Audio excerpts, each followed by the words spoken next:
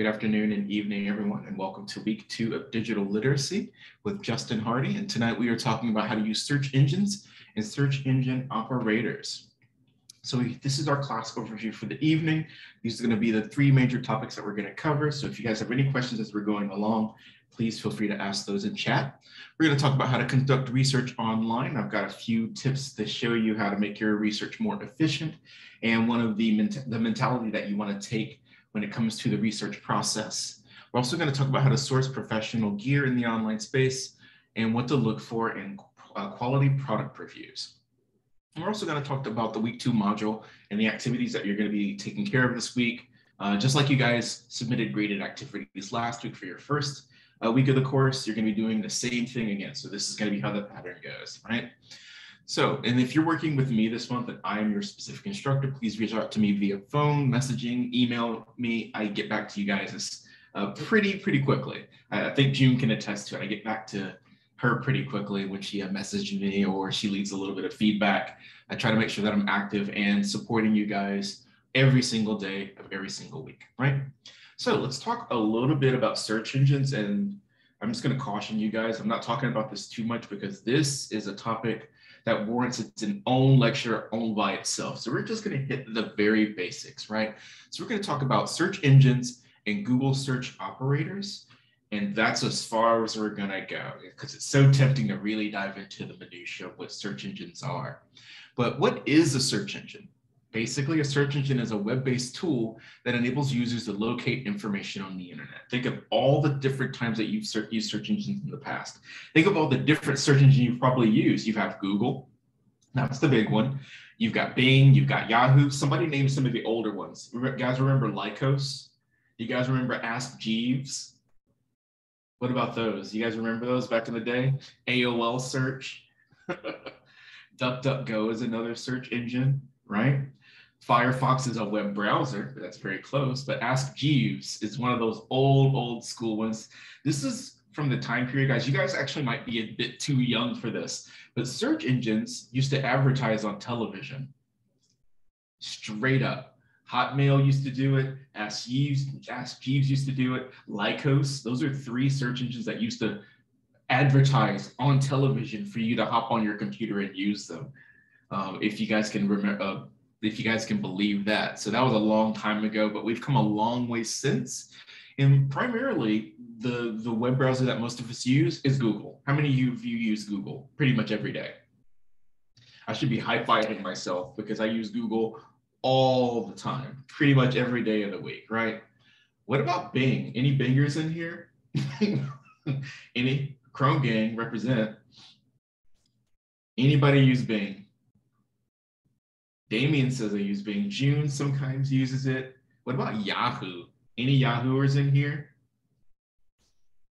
This is this is old school right here. So some of you still use it. I haven't had a Yahoo account since it's been like 20 years since I've had a Yahoo account. It's been a long, long time, right? So no matter what search engine you're using, performing a general search, Google search, a DuckDuckGo search, a Bing search, Yahoo, doesn't matter. You're gonna get millions and millions of results. And let's see what that looks like in practice. All right, so this is gonna be Google. We just do a basic search for the James Webb Space Telescope. I'm sure most of you are familiar with this telescope. Cost $10 billion, took almost 20 years to build it took about six months to get where it was supposed to be, and now it's actually doing science after launching, I think, December of last year. We've gotten some really beautiful photographs. We can see a couple of them here. And, and James Webb is just dropping new album covers every other week, it seems like. And this is some awesome, awesome technology. And we can see here, if we zoom in a little bit, for our search here, we're getting 37 million results. I don't know about you guys, but I don't have time to go through 37 million results, right? That's just a little too many. But if we go over here to Bing, look how many results we get 523 million. I can't do the math on how many more that is, but that's quite a few. We're not going to need this many results either, right? So if we go to Yahoo, do we even get a number on Yahoo? I'm not seeing it, but I imagine it's also going to be, if it's not millions, it's going to be in the hundreds of thousands. And again, that's also too many searches to go through in a reasonable time frame. So what do we do? Well, we could get a little bit more specific. So if we want to do the James Webb Space, Space Telescope launch date, try saying that five times fast, how many results do we get? Okay, 36 million up or down from 37. So that's still not really giving us a specific um, set of results. So let's get even more specific. Instead of the launch date, let's see if we can find any engineers that worked on it. Okay, that puts us down to 6 million results, right? So when you're doing research, you want to start with one key thing. Start very broad with your topic. Whatever it is that you're looking for, start for start with a big idea, right? And as you have that big idea, you want to whittle it down with a, maybe a couple of different specific keywords or maybe a different rephrasing of what you're looking for. So that gets you here. And then you're going to do more research and probably going to specify your keywords a little bit more. And that gets you here. And down here near the bottom of this cone shape, this reverse pyramid, this reverse triangle down here, that's the bit of information that you want, that very specific information that came from a very broad search that started up here. You hone it down to here. And that's essentially what research is all about, guys. You're coming up. Let's see if I can get this even more specific. Uh, NASA. Yeah, okay, so that's perfect. So look at what we started with. We started with 36 million results, 37 million results, right? For James Webb Telescope launch date. Now that we, we this is our broad um, topic here. In fact, let me make this point even more salient. Boom. So we start with 37 million, that's our broad topic, and we specify that a little bit more with engineers. That gets us to 6 million. So we've gone from here to here. So we started with a search, research got us here. Research again is going to get us here. So we're looking for James Webb's telescope, NASA engineers. So we go from 37 million results to 6 million to 2 million. Now, we're still using millions of results, but we're far closer to what we were looking for in terms of our specific data. This is what we want. This is going to get us there. And now, if we get even more specific than this, you might end up actually truncating results that might be helpful. Um, so there is a, such a thing as getting too specific with your searches. Like if we were to like look up the high school graduation dates for NASA engineers that worked on the James Webb Space Telescope, we're probably not going to find that information. That's far too specific. It's far too niche. And what do you need that information for anyway? So it's probably likely that you're not going to find it and you're not going to need it. So do keep in mind that you can hone your research from broad to specific, but there are limits to this specific bit of information at the very bottom of this triangle that you can use. And that can be the basis for other research that you do. Okay, I found this information that was awesome, but it also inspired me to think of this other thing. So that again gives you a broad topic to start with. You whittle it down and you add that to your first piece of information. And you keep doing this over and over and over again until you get all the data that you need to be able to accomplish your goal. This could be designing a brochure. This could be writing a new song. This could be for a commercial that you're filming. This could be for a film that you're shooting. It could be for a screen uh, play that you're writing. It could be for a press release that you're working on, right? So no matter your degree program, doing research, finding a big idea picture and willing it down to the most salient point, the most important part is going to be really important. You've got to be able to do this for your bosses, for your coworkers, for your specific audience that you're trying to reach. What is your message? What are you trying us to get us to do about it? And how much legwork did you do ahead of time so that people can kind of understand where you're coming from and have the context, right? So this is going to be a really important skill for you guys to have. So no matter what um, what search engine you find yourself using, you always want to start broad and work your way to being more specific. And I have a few tools that can help that process be a little bit more fun and less arduous where you're not just swapping out keywords over and over again. You're getting exactly what you need in a specific sense. And you're not taking as many steps to get from here to here to here to here to here. You can go boom, boom, boom, and get to where you need to be. So again, performing a general Google search, Bing search, Yahoo search in general, you're going to get hundreds of thousands to millions of results. Now, one of the ways that you can curtail that a little bit, make that a little bit easier to deal with, is by using search operators well, which will give you the ability to filter your searches so that your research process is still going to have a wide data set, but you'll have the ability to pick and choose what you want so that you're just filtering it down to the results that you need. You're not going to get all the extraneous results that are going to be outside the realm of what you're looking for. I'm going to show you some examples of what this looks like. So these search operators can be used to find specific social media posts, product listings, user reviews, you name it. And once I show you this process, you can apply it to literally anything. And now you guys are going to see these, and I don't expect you to take notes. There is actually a cheat sheet in the 2.4 project um, instructions that have all of these listed. So there's no need for you to memorize them. You don't have to write them down because I'm talking about them. You're going to see these again when you open up the project document and look at all the instructions. You'll see the Google operators here. We even have a download for you. So you just click this and it is available for you to save. So again, you can use this as a Cliff's Notes while you're getting used to the process of using these if they're new to you. Okay, so the first one I want to show you guys very briefly is finding a range. And this is very practical because this can help you shop within a budget. So if you're looking for headphones that are 150 to $300, you no longer have to sift through hundreds of pages of headphones. In fact, you might find something that you like here, or you can scroll down and you can see articles that cover the 10 best headphones for 100 under $150. So whereas look at what happens if we just type in headphones here. What type of headphones are you looking for? You have headphones that are $50 right next to headphones that are $1,800. What kind of use case do you have for $1,800 headphones? It's probably going to be high end. You're probably a music engineer. You're probably an audiophile, someone who really enjoys music and they appreciate it. This might be the set of headphones for you which is not going to be the exact same use case for someone that has $50 headphones. If you're using $50 headphones to mix and master music, you are doing it wrong.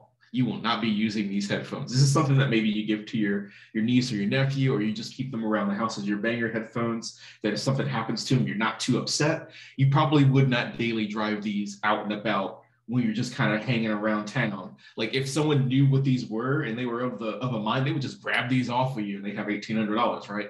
So please be mindful of use cases for specific needs. And if you're just searching for headphones, you're going to get anything and everything. It could be headphones that you need. It could be headphones that maybe you were looking for, but it's not going to be directed. It's just going to be a whole lot of nonsense here, right? How many results do we get? Okay, guys, look at this Headphones gives you a, a uh, 1 billion results, 1 billion 70 million results.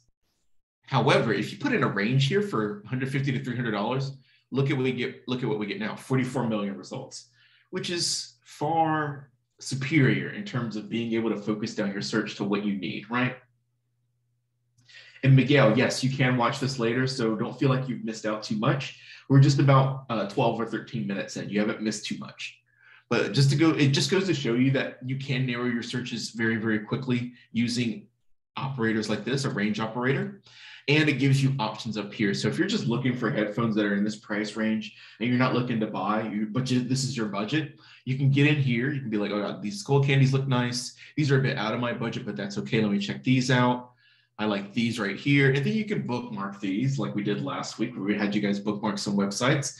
You could do that. And then when it comes time for you to be able to afford the headphones or buy the headphones, the time is right, you'll have that available to you and you can just boom, go in, purchase it, and you're good to go, right? Now, let's say you're looking for something that's a little bit more high end. You're not looking for $150, you're looking for 600 to $800 headphones. Okay, so you're gonna see similar results here, like the top 10 headphones, 600 to 800 dollar headphones. Google's going to give you some results that may or may not be what you're looking for, but this is going to be far more specific than looking just for headphones in general, right? So you've got some up here that are 890. Uh, these are close to a thousand. These are 800. So notice here that our results, we're getting results that are a little bit higher than what we were expecting, right? So we can see that 600 $800 is our range but we're getting headphones that are almost a thousand dollars in our results. Do we really need those? Probably, probably not. There's some $1,500 headphones over here and on and on. You can kind of see that they're really premium. They kind of give you the high end of the scale. And what Google is thinking, you have to kind of fool the algorithm sometimes. Google is thinking right now, if you're in the, the, the market for 600 to $800 headphones, why wouldn't we show you something that's close to a thousand? Because that's really not much more money that you're spending. Maybe these will fit the bill for what you're looking for. You can grow into them. They have a feature set that was above and beyond what you were expecting to find at that price point, and you end up going for it anyway. That's kind of what they're hoping for with some of these more extravagant price points in here that really don't reflect what you're looking for. Notice that none of these headphones sets of headphones are under that range of $600. These are 599, 598, 549. You have to scroll quite a bit in this set to be able to find one that even goes underneath that range a little bit. And that just goes to show you that this range search operator is not going to be an exact science. So if you go in here and you type in, let's say 1100, 1000 to 1100, it's still going to give you headphones that are above and beyond that price point. Because again, if you're in that market, what's an extra $500 if you're already spending 14 or 1500, right? So the just goes to show you once again that ranges, there's going to be results that kind of go beyond what you're looking for, and you're going to see results that are a little bit under what you are looking for. So it's not an exact science. So play with your numbers a bit, see what kind of results you get up here, scroll through some of these links to see if they're useful or not. And that might again urge you to research re um, kind of like reformat what you're looking for to see if you can find a better um, result. But search engine operators are a good way for you to cut through the fact of what you're looking for, to find some salient points, find exactly what you're looking for, and then you can base your research, your refined research on those bits and pieces that you didn't have to spend a lot of time to find, right? So this is all about using your time intelligently, and search engine operators are a great way to kind of cut out all the inefficiency. The next one I'm going to show you guys is history of the United States from the year 1980 to 2020. So this is a range of years, whereas before I showed you a range of prices. And some of these search operators do have more than one function. Like if I put dots here, it will serve the exact same function as if I put a dash there. So some of these kind of vary a little bit, but a dash makes sense in this case for a range, and that's what we're going to use. Now, for this one here, the history of the United States, you guys that are from the United States, it's about 300 something years long, 350, 350 years long. That's a big stretch of time, three and a half centuries, right? Now, if you're covering the entire United States history, that's completely cool. But I didn't live for the majority of the United States history. I was born in 1985. So I'm really only interested in the history that I lived through because I have more context to work with. Things that were happening in 1900 had nothing to do with me, right? But things that happened in 1990, I was there for that, right? So when you're doing searches, let me just illustrate this again history of the United States, you're going to get 14 billion results you're going to get the entire history of the United States starting from 1776. If you're really serious, you're going to start your research at 15,000 BC because that's when Native Americans were first going across the Bering Strait from Russia down into Alaska, down through Canada, and then into the United States. That's how far back you have to actually go to talk about the concept of the United States as a singular like entity, right? And even then, it didn't have that name. It got the name in 15 something, the year 1540 or 1560, around that time frame. I'm getting some of my decades mixed up, but you have a huge amount of time to cover. And I don't know about any of you, but the year 15,000 BC, not really that important to me. Ancient history. The year 1776 to 1789, also ancient history. Not interested in any of that. I'm not interested in filtering through these billions and billions of results. So again, we have our range here of the decades that I lived through, and we can see, of course, that I'm not a robot. And our results have cur curtailed our, so we started with 14 billion results, and we now have 795 million. Still a ton of results, but that's a, a huge number that's cut away. It's a lot of fat cut away. We don't have the entire history of the United States have to worry about. We are now worried about five decades, 1980 to 2020, right? And then we can click here. And then at this point, you're doing your research. So now that you've found your initial search, I want this article, now you're doing research. What part of this article is going to help me accomplish my goals? Am I creating a project that is meant to entertain, persuade, or educate? Well, if it's meant to educate, I want to make sure that I'm citing my sources correctly, right? So wired.com, please so you're going to, again, check out the article, find some bits and pieces that you can use. Maybe look at the bibliography of the article and do research based on that information that was used to write the article in the first place. You guys kind of get my point, right? So whenever you're conducting research, using a range, whether for prices, years, any other thing that would designate a range, even miles, like five to 100 miles if you're looking to relocate um, in somewhere like close to home like you want to stay in the same state but you don't want to be in the same city here are all your options within 50 miles or 100 miles right? So that's something that you could also use these for. So that's finding a range. Next one is exact matches. So you guys kind of saw this earlier, but if you guys can tell me who said to be or not to be, what character said that phrase, to be or not to be? It's the first part of a soliloquy. Who said it? Anybody cultured in here? Okay, Landon got it. Perfect. Hamlet, right? To be or not to be, that is the question. Now, some of you have probably heard that statement before. You've heard that phrase before. You've heard someone say that on TV before or in a play, or one of your teachers said it in English class. And you're like, I've heard that, but I don't know who said it. What play is that from? Who wrote that play? Using an exact match will allow you to use incomplete information to find things that you are looking for. So you have the quote for something that someone said, but you don't know who said it or where the quote came from, but you know the quote. You just put quotations around that bad boy and you will be given the keys to the kingdom. You now know who said it. You now know exactly where it is in the actual play and you have the author who wrote it. And there's even a Wikipedia article about this specific phrase. It's so famous, right? And the reason I picked this is because I had to actually deliver this entire thing, this whole thing in English class for a grade. Imagine getting up without a paper to read from. You had to memorize the whole thing and then rattle it off while some guy is just going to sit there and grade you for all the mistakes that you made, right? Right. So this was very harrowing for me, I'm glad I don't have to do that anymore. I'm glad you guys don't have to do that. It, this was a lot to memorize, right? So you're going to you're going to remember things in your life where you only have partial information, and you can use that partial information, feed it into Google, and nine times out of 10, I don't want to say that. I'm to say eight times, eight times out of 10, it will be like, did you mean this? And you're going to be like, yes, that's exactly what I wanted Google. Thank you very much. Now that I know the name of name of X, I can now do research on Y, which will help me get result Z, right? So consider the fact that you will sometimes have incomplete information when you're doing research. It might be a quote, it might be a range of years, it might be some sort of information. See if you can put an exact match to it and if Google can help you out. Sometimes it will work. This will not work on an academic search engine that is um, maybe proprietary. Like I know that we have Academic Search Elite here at the LA Film School that you guys have access to. That's a whole other can of worms. But the gist of it is that it's an academic search engine that has peer-reviewed papers.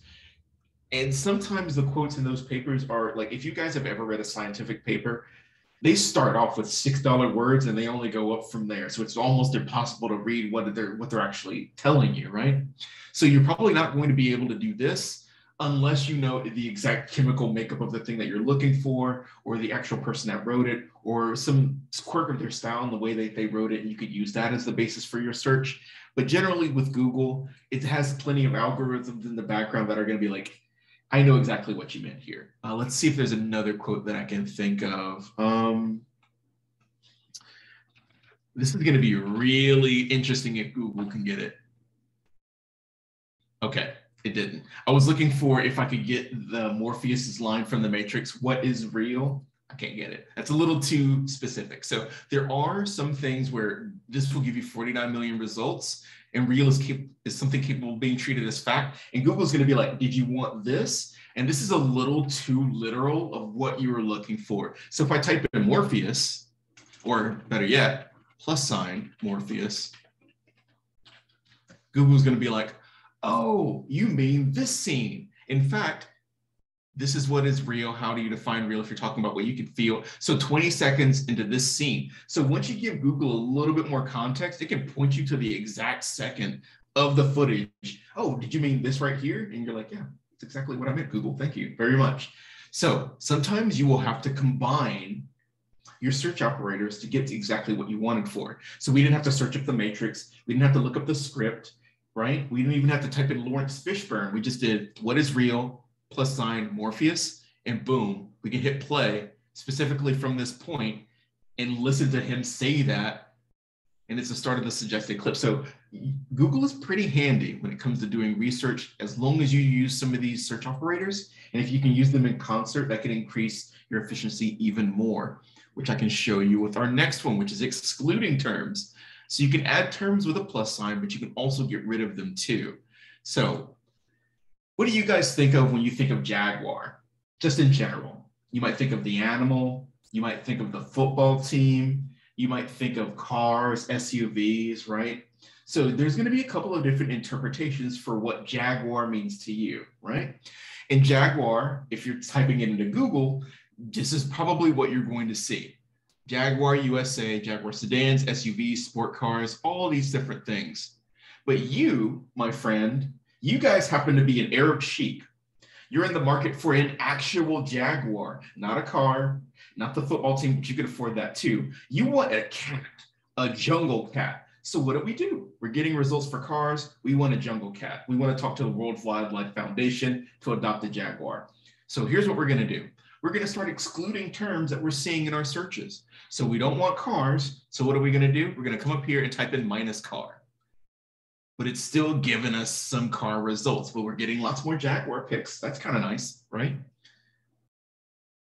But every now and again, you're going to get like the Jaguar store. I'm pretty sure that's actually for cars. So let's see if we can get even further.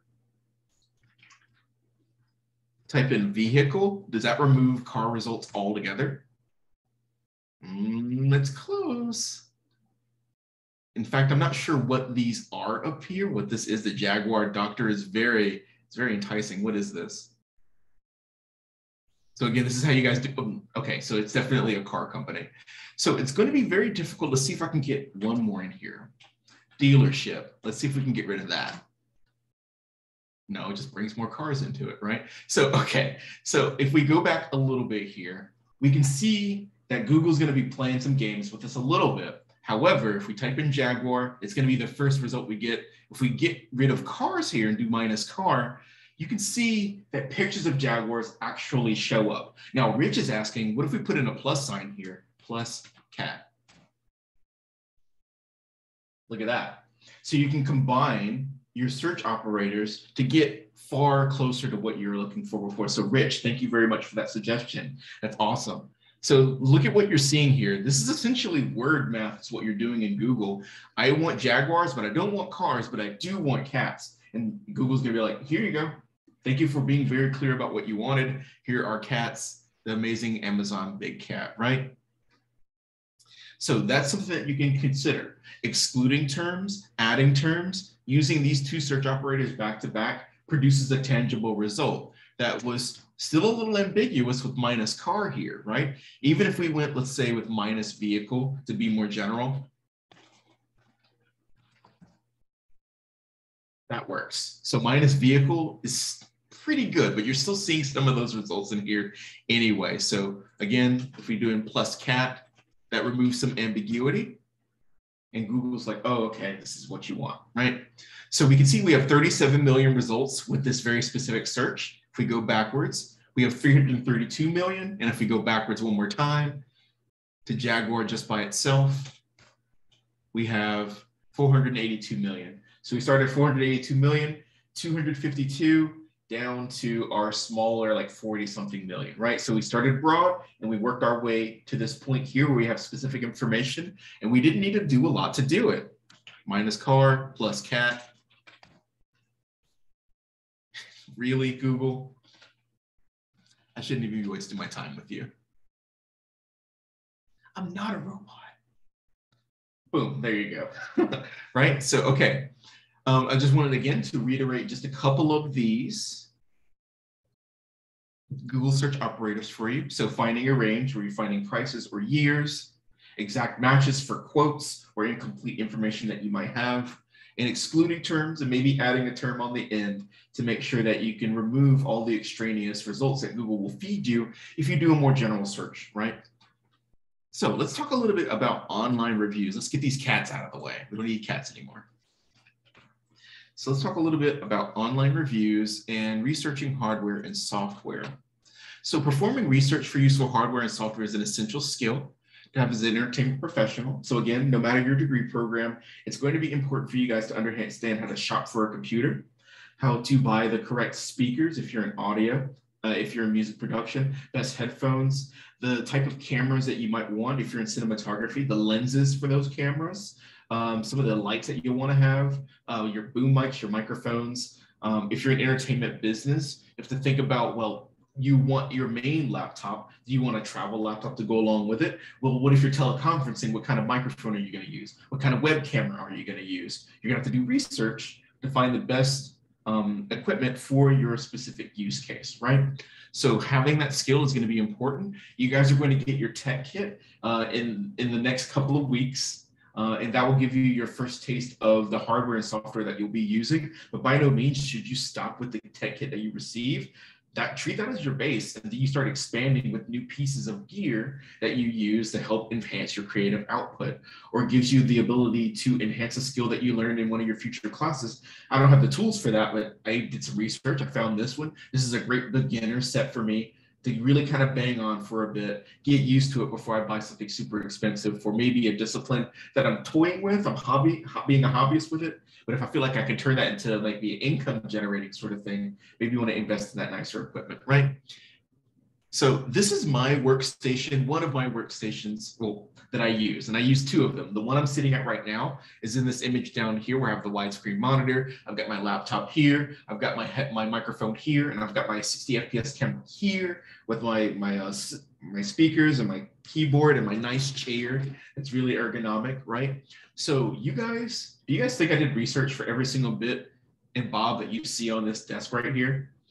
I'm not even to like wait for you to answer yes. The answer is yes. I did all of my research, even for the PlayStation controllers, the charger for the PlayStation controllers, because I need my equipment to last. I treat my stuff really, really well, but I also keep my receipts. right? And I also do my research to make sure that if I'm going to buy a curved monitor from the same company as this one, I want to make sure that those monitors are going to be compatible, make sure that they have the right frame rate, the same color gamut, the same resolution, right? I'm getting into the very specifics, but that's, that's the thing that you want to start honing in on when you're looking at professional equipment and things that will fit your use case. I use these computers for various different things. Like you can see right here, I'm editing my novel, right? I don't need a giant 32 inch curved monitor to edit my novel. I could use a laptop for that, right? So this is not the primary use case for this. It's just one of them. So I have a multifunctional computer and I use it for multiple things. Never would I ever spend this much money to use Microsoft Word all day, right? That wouldn't make any sense. So if you do find yourself like, let's say you're in the writing program, you probably won't need a huge elaborate setup like this. This use case is going to be maybe uh, unless you're a hobbyist and you want a computer setup like this, more power to you. But it probably won't be what's required of your job. You might need a webcam, you might need a, a, a microphone and a nice screen in your laptop, and that's it. You won't need multiple laptops, extra monitors, and Alexa with your cup holder, and your multiple laptops. You may want some of that stuff, but it's not going to be necessary. And it's something that you could scale up to over time if this is something that you're interested in. And this took me about six or seven months to put this whole rig together and I've added onto it. I've pulled things away. I've reorganized it. So also consider the ergonomics of the system that you're going to be sitting next to. So when you get your tech kit in the future, set it up, see how it feels and don't feel like you have to be beholden to something that might be uncomfortable. Switch things around, move your monitor over here, move your computer over here, move your keyboard back or forward, and that can inform some of your needs for future equipment that you buy. I have this extra bit of space on my desk. I can maybe use another laptop here, or speakers, or another keyboard, or another DAW, right? You might have um, the ability to kind of workshop what you need as you need it, um, and you can start building up your workstation, right? So Amazon and other websites will have product reviews of varying quality, and filtering through user reviews for popular products can help you focus your search. Now let's go over to Amazon. So we've done a search here for an MSI desktop that's in the range of $1,100 to $2,000. We're looking to spend a little bit of money on our laptop, on our, our desktop rather, right? And this is the one that we found. Now let's take a look here, very close look. There's only one left. Look at this price, guys. $4,000 for a, uh, a, desktop computer. This thing better be able to simulate reality for this kind of money, right? This is a lot of cash to be spending on a computer. Now, look how many reviews there are for this computer. Do you guys see this? 22 reviews for a $4,000 piece of equipment. So let's take a look at some of these reviews. That one looks decent. That one looks decent. That one looks decent. That one looks decent. There's a couple that are short, but for the most part, they're long. Now I want to ask you guys, is 22 reviews for this product enough for you guys to make a determination about whether or not you would spend $4,000 on something like this? 22 reviews are not enough. Okay, okay. So next question I have for you guys. How many people do you know are in the market for a computer that's $4,000, whether it's overpriced or not, Mason? How many people do you know in the market for something that's expensive? Maybe a few of you, maybe one or two. So let me stop right there. Does the fact that this is a high ticket item with only a few reviews make sense? Does that make sense for you guys? Like it kind of follows that not a lot of people would buy a product like this. So therefore there probably wouldn't be that many reviews for it. So seeing that these things kind of don't add up, I'm seeing some mixed answers in, in, in, in the chat. You guys aren't right or wrong. I just want to give an idea of where your head's at. So the most important thing is you're just to not follow these numbers because these numbers aren't really working in the favor of this product, right? This is too expensive and this is not enough reviews for me to make a determination. So what do you have to do from there? The qualitative information that you're presented with is not enough for you to work with. So now you got to go to the quantitative. You've got to read what these reviews have to say. These reviews may not sway your decision one way or the other, but it helps to come in here and see like, okay, if someone has a verified purchase, they bought this thing, why do they like it? What would convince me out of this review to maybe take a second look at something that's expensive, right? So this is a fairly long review. It's comprehensive. There's pictures, we can see that this person actually got what they paid for. Same for this review here. This is a little bit shorter, but it gives you some information about what their experience is like. Super fast, good, good.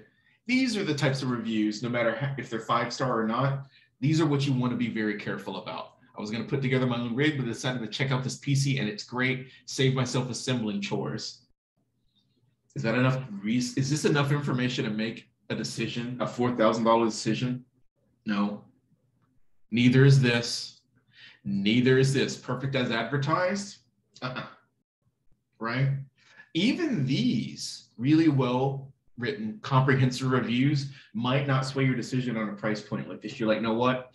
I need to go to YouTube and see what this machine is all about. I need somebody to rotate in front of me. I need somebody to open this computer up to see what it looks like inside of it to get their pros and cons. I want them to set it up like a rig, like I would see it at home before I can even start making a decision about this. You want a more 360 degree, three dimensional understanding of a product this expensive, right?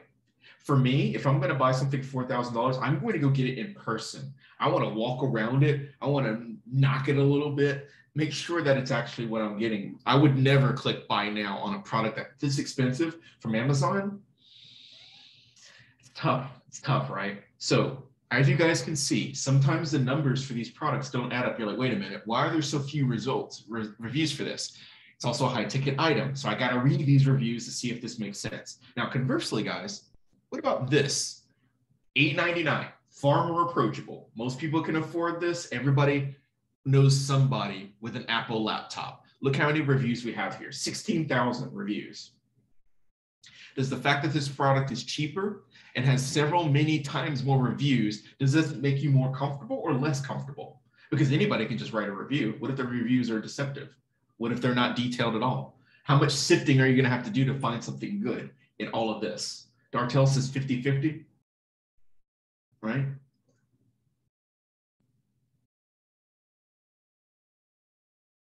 A little bit more comfortable, Shawanda, okay. More comfortable can we compare your specs 50 50 in fact i'm loving this guys. I'm glad that you guys are still being skeptical even when you're seeing numbers that are a little bit more reflective of reality. Most of this is going to be out of our reality. Like i'm not paying for this kind of thing. I can barely afford something like this. It would break me right?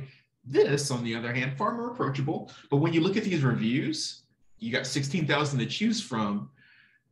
This one's in spanish which is cool remarkable laptop, great, awesome notebook computer. You're also going to get reviews in here that are very short, some that are very long, some that are comprehensive, some that are very basic, right? So in this case, sometimes the numbers will work out in its favor. This is a price point that I can afford. There's 16,000 reviews. It's got mostly five stars, some six, some four, very few three, two, or one. This might be a product that I can invest in generally we know someone with an Apple laptop and you can ask them questions. Hey, you got your laptop, you've had it for a couple of years. How's it been treating you? You can go back to YouTube and then look at user reviews for products like that as well. So you can see someone opening the laptop, spinning it around. And if they're like one of those those paid reviewers, they're not going to be scared to open up the laptop and rip it open and show you what it looks like on the inside and point things out, things that you would never do with your own personal laptop. That's something that you can get away with using user reviews um, on YouTube. So I'm showing you Amazon and some of the things that you need to look for when using this, but YouTube cannot be discounted as a fantastic tool when um, when you're looking at a product that you're looking to buy whether it's a huge ticket item or something maybe a little bit more modest, like a MacBook Pro, generally isn't modest at 899 but this is far more far more um, approachable right so that's generally what you want to look for quality over quantity if they include pictures awesome if you can see that people found it helpful that's good if there's a profile picture sometimes that matters sometimes it doesn't right a lot of these don't have profile pictures but people found it helpful and we can see that these are verified purchases so there's little bits and bobs in these reviews that help you have some confidence about um, what you're buying. So I want to ask you guys one more thing. How many reviews are you comfortable with using before you buy a product? No right or wrong answer. I just want to see where you guys are at. One review, two. Joe says 100, a thousand or more. Now you guys are playing with me. Five to 10 from Evan seems to be a fair number. James says until he feels comfy, completely cool, total respect there. Rashad says 10 to 15, 8 to 5 range for Kenny. So you guys are doing some research, you're doing your due diligence until his Dartel says until my brain starts to smoke. That's hilarious. So until you're comfortable, right? So cool. I'm seeing 5 to 10 for the most part, depends on the product. You guys aren't just going out all willy-nilly and just buying stuff. I don't see any ones. I barely see any single digits in here. Five is a good number to go with to make a determination about whether you'd spend that money. Like for me personally, if I'm looking at a MacBook Pro for 899, I read five good reviews, I'm halfway there. I read 10, okay, I'm feeling good. I look at a YouTube video on top of that, all right, I think I'm gonna make an investment in this. So I need a little bit of extra work to get me to buy something. So 10 reviews and then a YouTube video to make me feel comfortable with a specific purchase, right? And sometimes that might be a little bit more, um, you might be more strict depending on how expensive something is, or you might be more strict because of how critical that component will be. Like if you're looking for a new HDMI cable, you're probably not going to be stressing over the 599 cable with a three star review. You're like, I just need a cable right now. It's cheap. Let me get this Amazon, please. I'll replace it with a nice one later and it suits all your functions. Completely cool. But if you're looking to replace a mouse or your chair or your monitor, something that's going to be a little bit more involved, something that's really critical to how you conduct your work, uh, you're going to want to do some research. You're going to want to do your due diligence. But generally, the cheaper the item, the fewer the reviews, because there's less financial risk involved in a five to ten dollar purchase versus a five hundred to a thousand dollar purchase, right?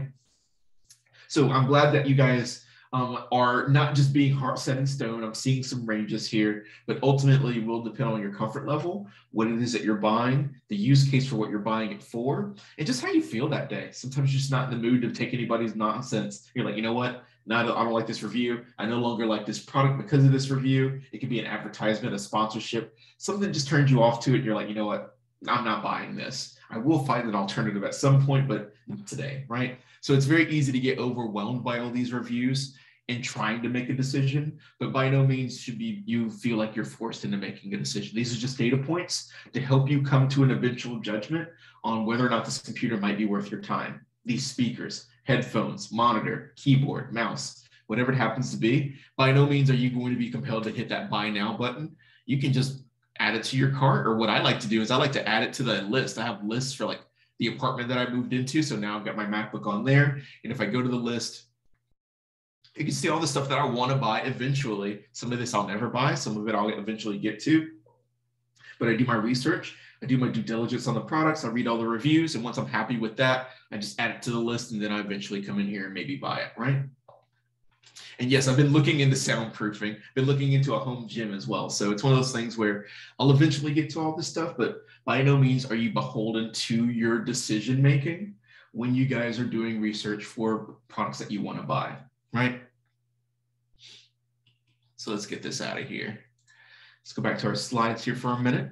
And just quickly, I want to go over some things that you want to look for when you're looking for, when you're checking out reviews. These are things that you want to keep in mind. Um, you want to make sure that there's a lot of details about the reviewer. The more the more comprehensive their profile, the better. If they've got a little image here of themselves, you can see their year, how long they've been a member, how many reviews they've left. That's important. Plus the number of review scores. Like so, if they've left five reviews and they're all five star, probably not worth your time. If they leave 100 reviews and those reviews are like 3.5, some good, some bad, some great, some awful, that gives you a more well-rounded understanding that this person isn't trying to fool you. They're legitimately reviewing the products. And sometimes they have a good score. Sometimes they feel like they're scammed, kind of like what we talk about in this week's discussion, right? So we also want to see if there are people found it helpful. This is something that you see on Amazon. Six people found this helpful. 500 people found this helpful. And that can um, give you an understanding of whether or not this review is worth your time. Because if people found it helpful, it might be a case for you to kind of stop, take some time to actually read the review and see if there's anything in there that you see that might be um, able to sway your opinion. Well, if people, 500 people found this helpful, let's see what this is all about, right? It might help you inform your opinion about what you want to do.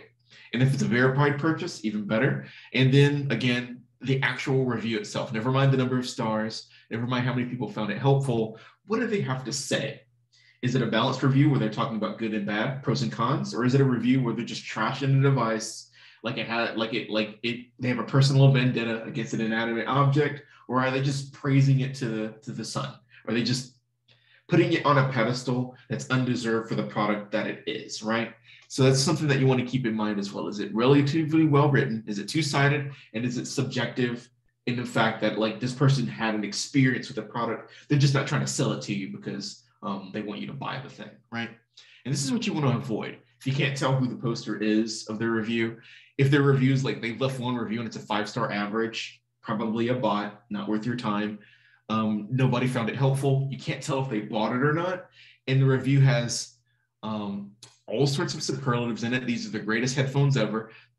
R singular letter instead of the entire word, multiple explanation points, JBL pure bass sound. Like, why would you include one of the features in this product review that like this doesn't have anything to do with the actual product? This is just the name of your name dropping at this point. Why would you name drop a product in the middle of the product that you're reviewing unless you're a bot? or you're trying to fool someone, right? So there's going to be things in here that don't make sense. There's extra information that doesn't need to be here. Uh, you can connect without word to your Bluetooth. The headphones last an amazing hour, last an amazing 11 hour battery life. If you see awkward sentences like this where it's not really clear who wrote it or why they wrote it, or if they were even like if they even understood English enough to write this. Some bots are pretty good at giving you a decent review. Some of these are handwritten, and you can tell that it's not written by someone that speaks English as their first language. Um, and it's one of those things where you can tell if this is a bad review, not worth your time. And that's what you essentially want to look for. The more comprehensive and balanced the review is, the more information that you see here, the more balanced it is. Uh, it's this is going to be worth your time. You could take this data point file it with your others, and you can use that to help you make a decision. And if you see reviews like this, just completely ignore them. They're going to be everywhere no matter what you're reviewing. Like that list of 16,000 Amazon reviews for a MacBook Pro or MacBook Air, there's probably tons of reviews that look exactly like this, mixed in with all the reviews that look like this. So you're going to kind of see them back to back. And this will help you, this week will help you pierce, uh, parse these out at a glance. You're like, okay, this one's good. This one's not good. That review's good. This one's terrible. This one's terrible, but this one's also good. I can use those three good reviews, ignore those two bad reviews, and then go on and form, again, be able to form the decision that I want to make whether or not I buy this product. And this is a link that I want to share with you guys to help you test yourself. Some of you might ace this, some of you might have a little bit of a tough time with it, but this will help you kind of assess where you are uh, in terms of your mindset, in terms of um, determining whether or not you can tell if a review is fake or not, or if a review is trying to fool you into buying a product that isn't worth your time or an experience that isn't exactly what it's uh, purported to be, right? Some people get five out of five. I got three out of five the first time I tried this. I'm much better at it. But if you scroll down, you will see this test yourself. This will allow you to um, come up with, with a determination about how good you are at sussing out these reviews. And Ryan, you don't have to take this quiz. It's just a little for fun thing, just to see if you like, okay, if I got two out of five, maybe I need to concentrate on the concepts for this week to make sure that I have an understanding of what this looks like in the real world. You might even go check out some real reviews, um, just scroll them for a bit, come back and take the test again, you get better. Um, you get a better result. And I can, again, help you understand what it takes to see through what they're trying to fool you with in the bad online reviews. And if you can suss them out, again, that just helps you at a glance understand what information is going to be helpful for you when you're looking for a new product to buy and information that will not be helpful for you, right? no problem, Ryan, no problem. So that is something that I want to include for you guys. And um, in chat, you're not supposed to answer that. You're, you do not have to complete that quiz, but it, it is just a little fun thing for you guys to uh, to work on in case you want a bit of a warm up because we are asking you to assess some reviews for this week's activities. So let's talk a little bit about those. So this is now week two. And yes, Rich. So the week two session for Stacy was earlier this morning, so they did cover this information. So if you went to that live class, this is going to be the exact same information, right? So the 2.1 activity, they showed you this last week. That, that's not correct. That last week was week one. Anyway, um, this is what you guys are going to be answering for the 2.1 activity. What is one of the best ways to narrow down your search results when using a search engine? So this is what we want you guys to answer. Uh, in two to three sentences, you can use examples from the live class. You can use the search engine operators that we talked about, which was excluding terms, using exact quotes and finding a range, right? So Scott, I can answer that question after the session is through. But uh, yes, this is what you're going to be answering for the 2.1 question. And that is going to be located here in the 2.1 activity. If you scroll down, question is right here. In the live class recording that we are recording right now will be posted here at the top. So you can scroll through. If you're in my class, you can scroll through, uh, go to where we talked about search operators and use some of that to inform your answer. James, the live class recording is being recorded at this moment, so it won't be available until like two hours after we're done tonight. So since it's being recorded, the recording doesn't exist of this meeting. All right, so that's 2.1. Let's go on and move on to 2.2. Actually, let me go through these slides really quick. So 2.2 is reviewing the reviews, and this is where you guys are going to be looking at a set of three reviews that we have provided to you, and you're going to make a determination about whether they're legitimate or not, whether they're useful or not, and you're going to be using information in those reviews to formulate your answer. I'm going to show you what that looks like. 2.3 is going to be your discussion for this week, where you guys are talking about an online purchase that you've made, about whether something was a score or a scam, Oh, that's totally okay, Rich. No worries, no worries. Uh, yeah, we open up the class on Sunday, so it does kind of feel like there's been quite a bit of a time.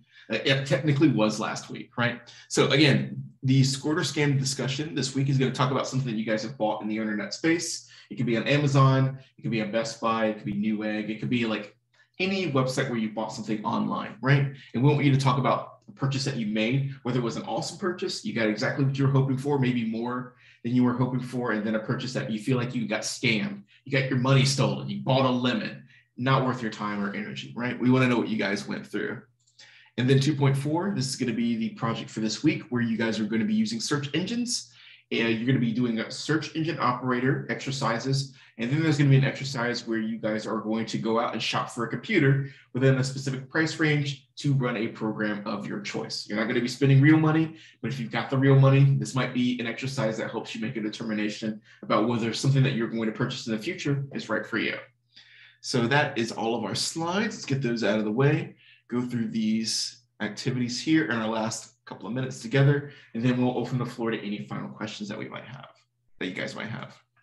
Okay, 2.2. So if there's a product, there's a review for it.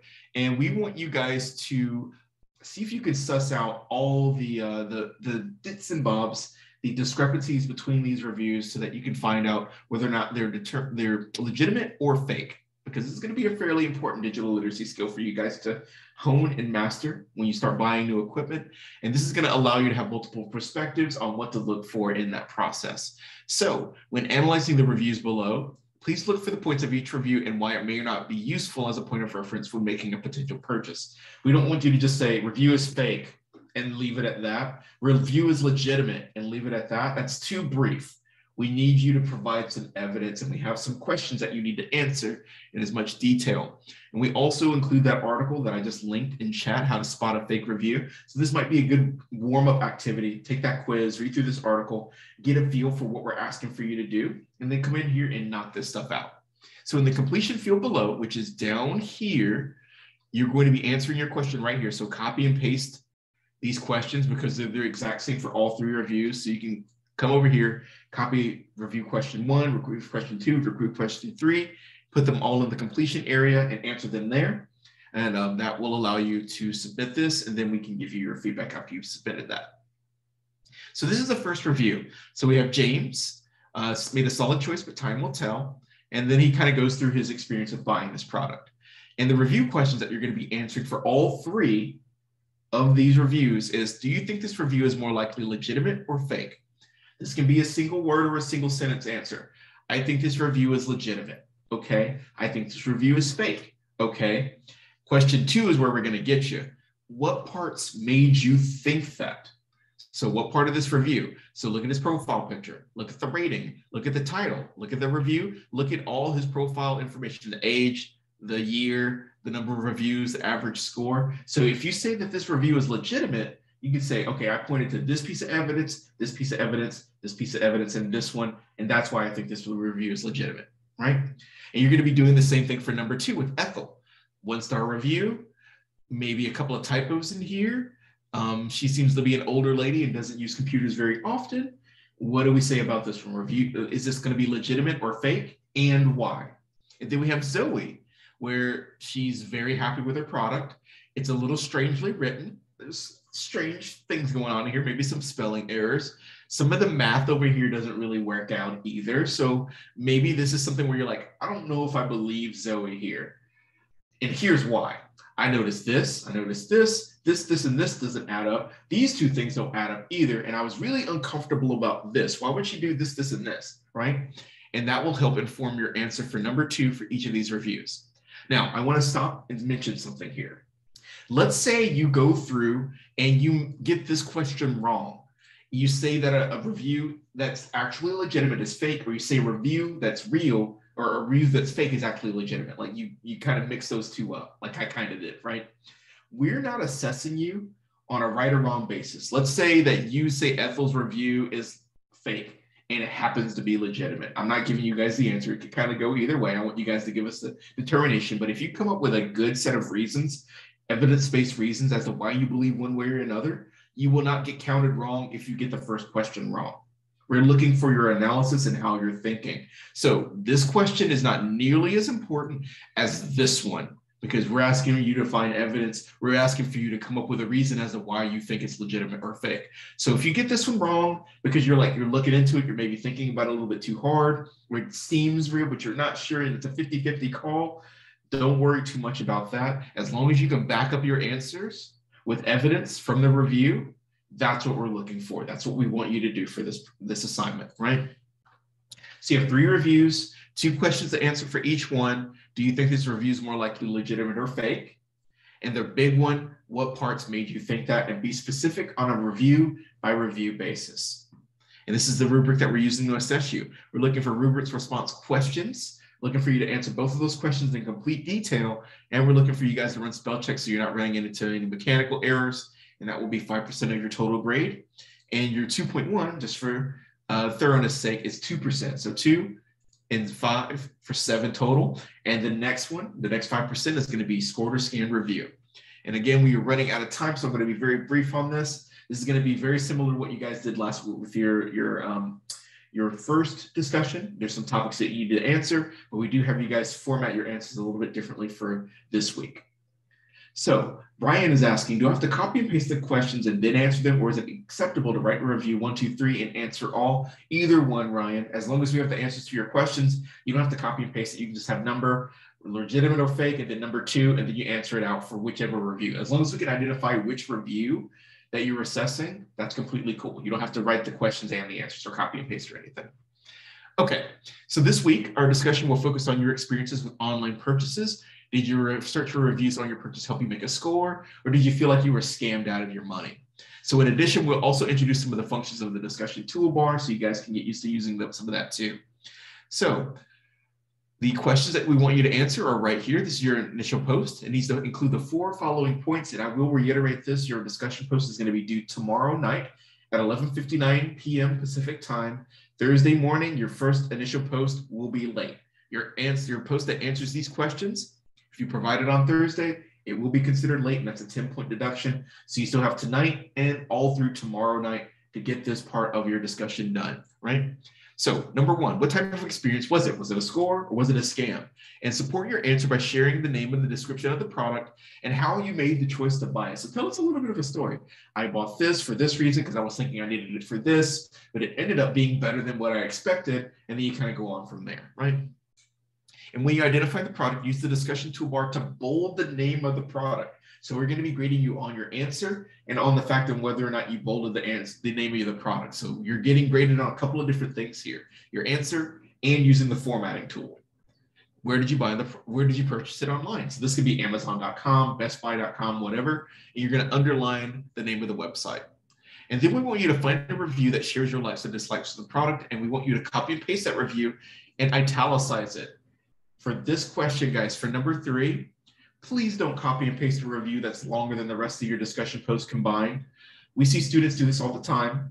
We know they don't mean harm by it, but it makes look it makes it look like your discussion post is huge, but really half of it you didn't even write. It's somebody else's words. So use a review that's like a paragraph, maybe a couple of sentences that really hones in on your experience. I had a great experience. This review short, it fits. I had a bad experience. This review is also short, it fits, right? We're not looking for your review to be huge. I've seen multi-page long reviews for this question, and it took me a while to figure out what they actually wrote in their discussion post. So please don't let this happen to you. It can get you, um, you can you can lose points if this is too long. So um, Damien, this can be maybe something that isn't technology related, but we do have a prompt here at the bottom. Uh, if your initial, let's see, where is it? Where is it? Where is it? If you previously purchased a piece of equipment or gear related to your degree program, we encourage you to use it as an example for your discussion post, but that is not mandatory. So if you haven't bought a mouse or a keyboard or a monitor or um, a, a, a, can't even say camera, a camera or a mic or a laptop, and you don't have those as online purchases to use, you can use an article of clothing, shoes, maybe jewelry, um, like a watch or something like that, as an online product that you've bought. We just encourage you to talk mostly about industry things, if that's something that you can do. So find a review for number three. And number four, help everyone visualize the product by adding a picture of it. And using the discussion toolbar, you're going to insert a picture into your discussion post. So Ryan is asking, what if it's a one-sided review or possibly fake review? Does it matter if those are used? Ryan, that's where you're going to put on your thinking cap and say, this review looks fake. I'm not going to use it for my discussion post. This review looks pretty legitimate. It fits all the points of what I'm looking for. It's fairly balanced. I'm going to use this one instead. So Ryan, it's going to count on you to kind of do some of the things that we've talked about tonight. Yeah, absolutely. So find a review. If it doesn't fit the criteria of what you're looking for and it feels kind of, mm, I don't know about this, disregard it and find another one that does fit the criteria. We do want you guys to use real high quality reviews for these. Just we ask that they don't be too long. And then the above prompts ask you to apply some specific uses of the toolbar.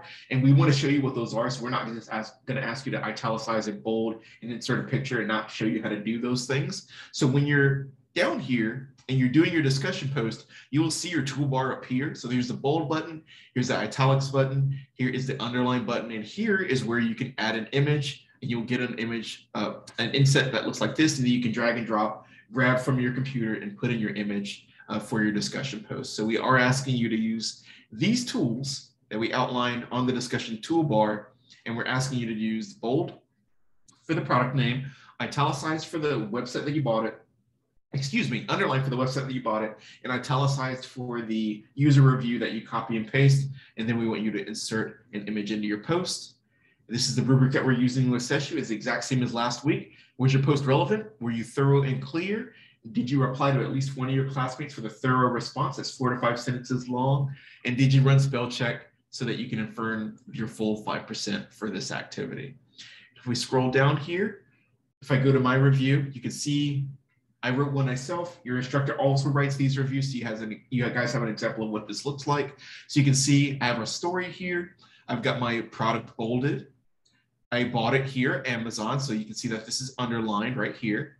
And this is the review that I used. It's only a basic paragraph. And then boom, you can see the actual product that I bought. And this is exactly what we're looking for you guys to do as well. So tell us a little bit of story about the product, bold the, uh, the product name, where did you get it, underline where you got it, and then I'll italicize your review, and then give us a, a, a screenshot of that product. And yes, Michael, you can hyperlink the website as well. And Mana, Mona Lisa, if you want to review the previous recordings for each class, that is under the meetings tab. And then go to past and then pick your live class. So meetings, past, pick your live class, and then you'll be good to go. Okay, so the next thing I want to show you guys is 2.4. This is the last thing that I have for you. We are officially over on time, but I have one more thing to show you, and I've got an example. So if you guys are willing to stick it out, I really appreciate your patience with me. There's one more thing, and you guys have had lots of good questions. I really appreciate you guys asking your questions, but I have just a little bit more to get through before I can open the floor to all your questions.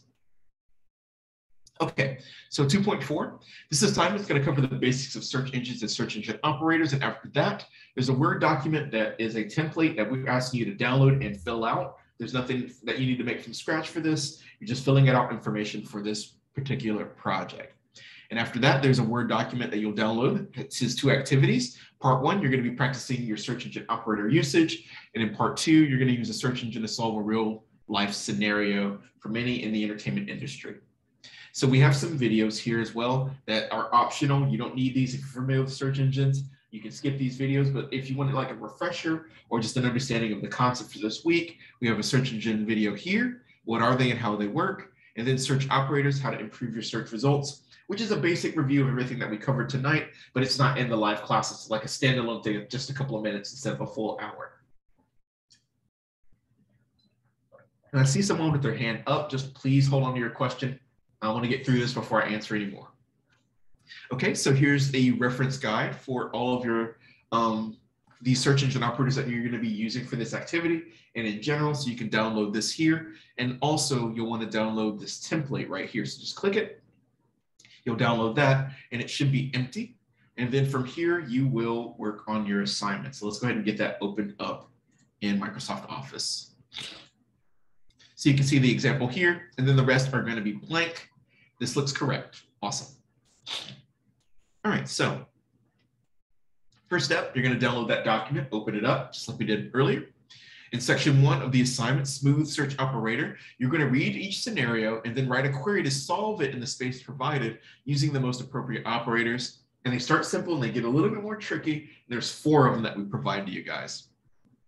And in section two, quest for the specs, you're going to use a search engine to solve a common situation for people in the entertainment industry, which is having a specific budget to run a specific program with specific uh, specifications. And you want to buy a computer that um, reaches those specifications and exceeds them. So you have a little bit of that extra headroom so that your computer isn't stuttering, freezing, and preventing you from being creative. You don't want a computer that barely runs the program of your choosing. You want it to have a little bit of extra horsepower, right? And we also want you to collect two reviews about the computer that you chose for this project that um, reflect the positives and the negatives. And we want you to link to those reviews. Now, if this sounds like a lot, that's why I have an example so I can show you how all of this is going to be laid out for you guys. And if you're unfamiliar with buying a computer, some of this might be review for you, some of this might be brand new, but there is a link here that kind of shows you what you need to take into consideration when you're buying a computer. Do you need a desktop or a laptop, Mac or PC? What kind of microprocessor do I need? How much RAM or memory do I need? Right? Uh, how much storage is enough? These types of things that if you're not familiar with buying a computer, you don't maybe have a clue about how much is enough for your use case. So this can kind of give you an idea of, okay, I need this much space. Um, if I'm going to be doing lots of graphic rendering, I probably need a lot more memory, so I need to focus on that. If I'm going to be playing games, I need to make sure I have a nice graphics card so I can focus on that. So this can give you an understanding of the basics of what you need in order to have an understanding of what might be need, um, necessary for you to know for this project. So that's that link there. And then once you've completed, you're going to use this right here, this area below to upload your document. And please keep in mind that we do ask you to rename your document with your last name and your first name. This is going to happen to somebody. I almost guarantee it. You're going to complete your assignment. It's going to look great from your side. You're going to leave it exactly as it's listed here and not change the name. You're going to submit your work, and your instructor is going to be like, Yo, Brittany, hey, Ben, hey, Autumn, your assignment is empty. Could you resubmit it? And you're like, Well, I did the work. Why are you saying that it's empty? For some reason, if you do not change the, the file name of this assignment to include your first and last name, sometimes it just gives us an empty document and we don't know why.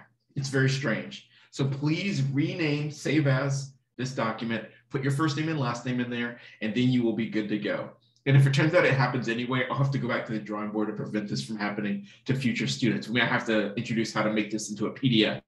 But I, I promise you, it's happened before. It happens every single month. I don't want it to happen to you. Please change the file name when you upload your project. Screenshots will also not be accepted for the as a submission for this assignment. We've had them in the past. We do not accept them. So please don't send us any screenshots. So this is what we're using to assess you. Smooth search operator scenarios. Did you fill out all four of those scenarios and are they correct? So we're going to be looking at both. Did you do it? And are they correct? Do the links go to places that they're supposed to? Does this make sense? Quest for the specs, search engine scenarios. Did you pick a, um, a program in your degree program or something related to your degree program? Did you list the specifications? Did you find a computer under the budget? Did you list those specifications? Did you have a review that's positive and negative? And did you link those reviews? So we're asking you to do quite a few things for part two as well. Lots of moving pieces. Now I'm going to show you how it all looks in practice. And something, and no, Rashad, you're not supposed to um, convert your files to PDF. That might be something we need to introduce if students are still submitting their files and we see that they're empty. I kind of went off on a little rant there, but there's no need for you to convert to PDF. We're just looking for the documents here. I'm glad you guys are listening. All right, so this is going to be 13% of your final grade. And one thing that I want to mention for writing mechanics is that we're asking you guys to copy and paste reviews that are written by other people. If there are typos in those reviews, your instructors are, are ignoring those because we know that's not your work. It's someone else's words. So you're not going to get counted off your writing mechanics if someone includes a typo in their review that you didn't write. So don't worry about that. We've had students ask about that in the past. Want to kind of head that one off a little bit. Okay, now that all of that is said and done, Justin, what does this look like? Let me show you. Let me show you what this looks like in practice so you guys have an understanding of what we want you to do. In fact, we're going to go through the first one together. So this is the document. This is what it looks like from start to finish. There's part one. And if we scroll down, we can see there's part two, quest for the specs. And I'm going to go through each part here. But we're going to do the first search engine operator question together. And here's the scenario. I'm going to go through this entire process and you're going to do this four times. So for this first one here, you are in the market to buy new headphones to listen to music. You want to find the best headphones available for $150 and you want to use search operators to do it. What would you type into Google? Go ahead and type it in the chat, guys. What would you type into Google that's as efficient as possible to hit this result? You're in the market to listen to music and you want headphones that are $150. You can even use that cheat sheet on the assignment on the project assignment if you want to. What would you enter here? That's very close, Shante. You're very close. There you go, Kiara. There you go, June. There you go, Rich. You guys are getting there. So this is what you're going to need. Search engine input, dollars, 150. Headphones. Now, some of you have certain like inclusions like headphones plus 100 music, like something like this would also be okay. This would be okay. This would also be okay. Like if you're looking for Beats by Dre for some reason, this would also be okay because you're looking for specific headphones. Also, if you're like wanting to be even more specific, like studio headphones, that's not in the scenario, which you can include that in your search query. So you guys are all including correct answers here, but notice how all your answers are slightly different based on how you're kind of interpreting the search operators. Your instructors are going to understand that. As long as you have some combination of the price and the subject matter and maybe a dollar sign in there to make sure that it's understood that this is what you're looking for, that's going to be completely cool. So now what we're going to do is we're going to grab this result. We're going to go over to Google, right? We're going to do a Google search for $150 studio headphones. And then we're going to find a set of headphones that works for this price point. So I see the Sennheisers here for 149. We're going to click this, go to the website. So these headphones are $149. I'm going to copy this link, go back to my document, paste my best matching result, and that's all you guys got to do. That's it. You're going to enter what you would type into Google, actually type this into Google, give us a search result that hits this scenario. So if we click this link as your instructor, we should see headphones that are going to be around $150. So I click this here. This is the website that I get brought to. Instant, you get 100% on this particular scenario. You're, you're done. You're good to go, right? And that's what you're going to be doing for all four of these scenarios. You're browsing Twitter, you come across a meme, you want to buy a graphics card for your PC. Notice that these are very, very long on purpose. I didn't give you guys the correct answer. This is kind of what you would type into Google. If you wanted a big, long, meaty search query, you can condense this down, right? So um, Tan is asking, I don't know how to find a meme on Twitter. So just look up memes. Like, so what you can type in is Twitter and then a meme that you've heard of in the past or you can type in funny memes and then find a result. We're not looking for anything specific here. This is open-ended. So you were browsing Twitter, you came across a meme, you're like, how do I find this again? Well, you would type in what you found, maybe a description, and then Twitter, and then you would give us something that looks like this. So trending Twitter memes in Salt Bae gives me this search result that goes to knowyourmeme.com, and then I can scroll through and I can see the dude who's doing this with his hands and he's cutting up the meat and he's got his shades on with his white t-shirt, right? So we're not looking for you guys to give us a specific meme. We just want you to go out, use this in a slightly different way so that you come up with a result. I want to find a meme on Twitter. Here's what I can find. Exactly, James. So trending Twitter meme plus funny would be what you type into Google here. And then you just go searching to see what you find. In fact, that's not what I got. Let me grab that again from what he wrote. So trending Twitter meme plus funny. And then you start seeing memes that you like. You're like, I want to click on this one. Everyone's tagging their trust, crushing Twitter trust. So you would come in here, maybe you would click this hashtag and it will bring you straight to Twitter. And then you're like, oh, I want to go with this one. I want to go with this one. This one seems kind of interesting. And then that's what you would link to your, your actual submission here.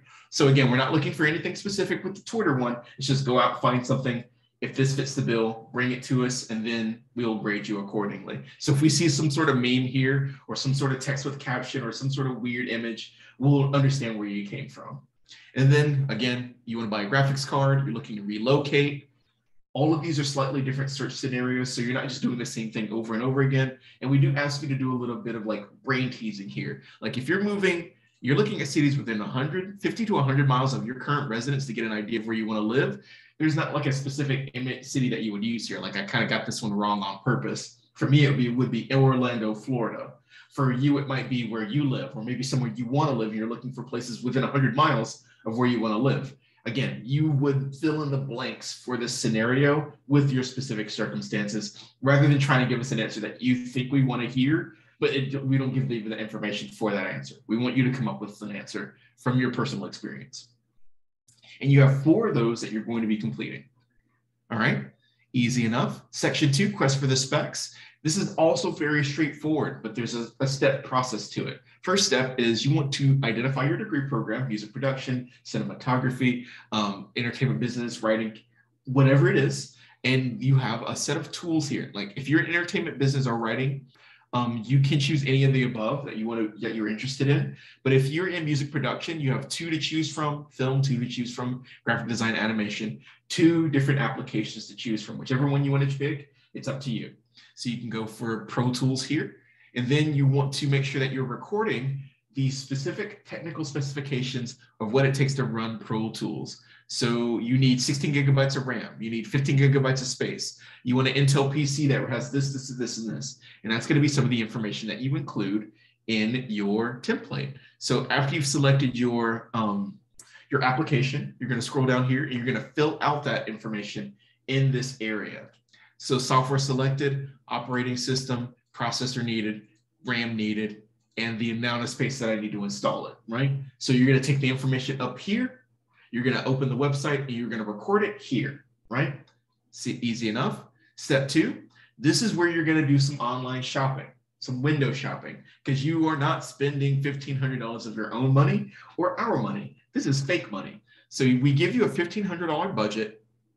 Don't worry about tax or anything. To find a computer that has the specifications that will allow you to run the software that you chose at a decent level, right?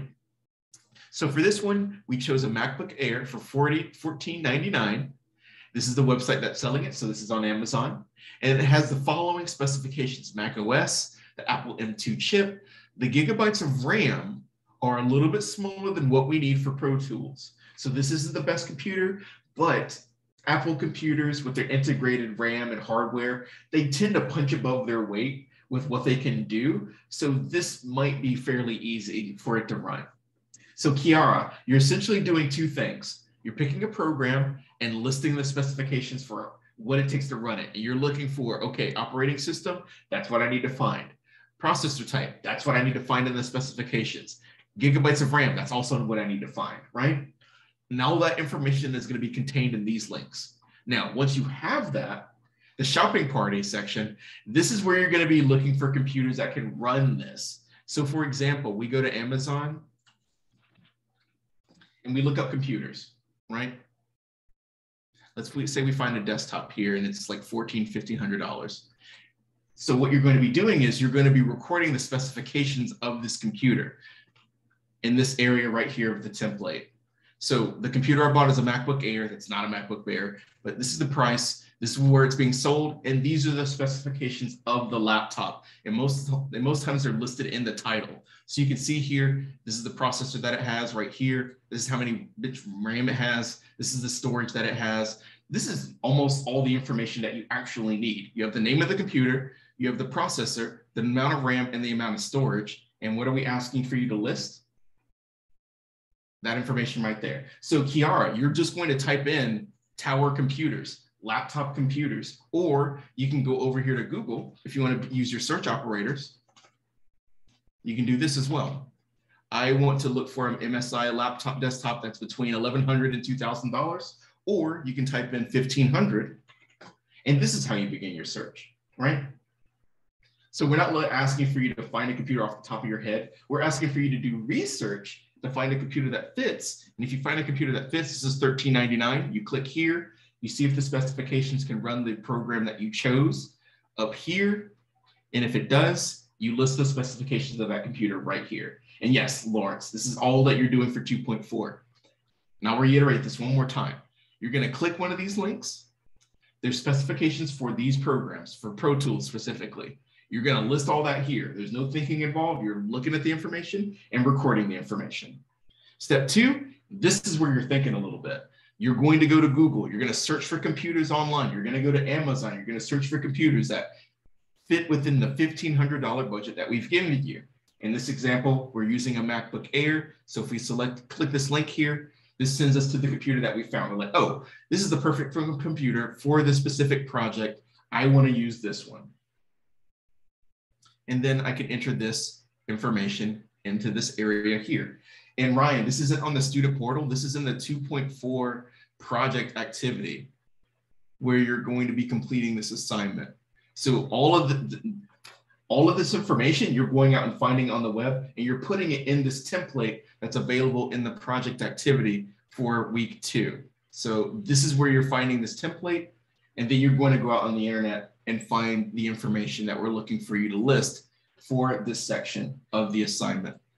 So you're going to find a computer, list the name of it, list the price, where you're going to buy it, and then the, the specifications for the computer. It runs this software OS.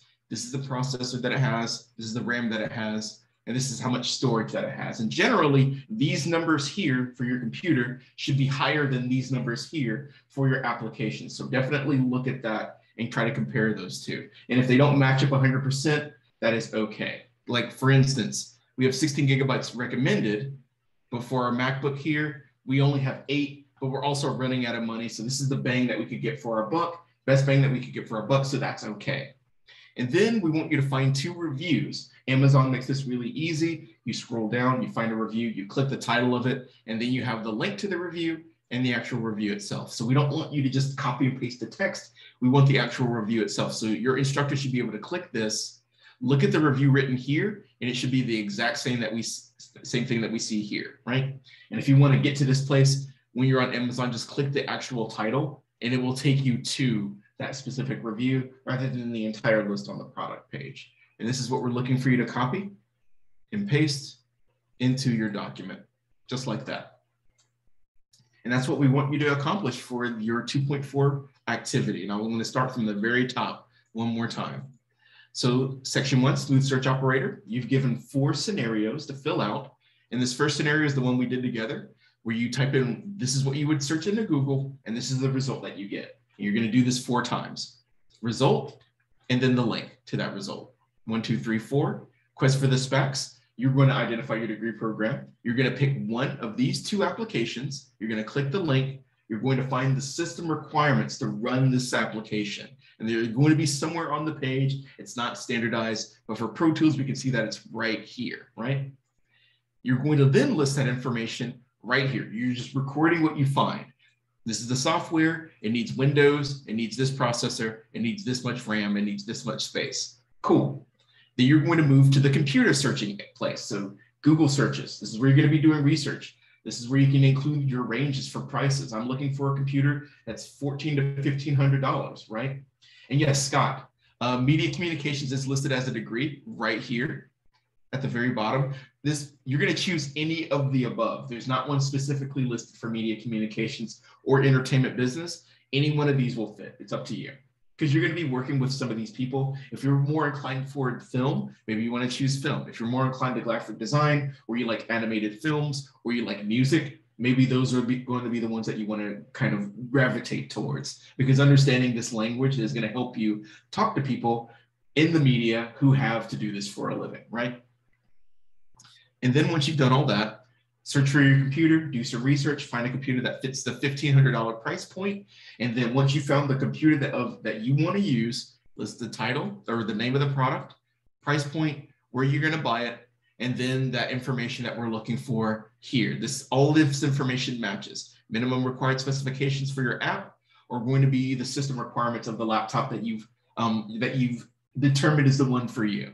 So Mac OS 10, Apple M2, the eight gigabytes of RAM, 512 gigabytes of storage, and then one review that's positive, one review that's negative, and we want to link to both of those so that your instructor can either copy and paste the link or click the link to see where your review is hosted. It could be on Amazon, Best Buy, Newegg, wherever. We just want to make sure that you didn't just copy and paste this. You did also cite your source because this isn't your information. This isn't your experience. We want to know where you got that, right?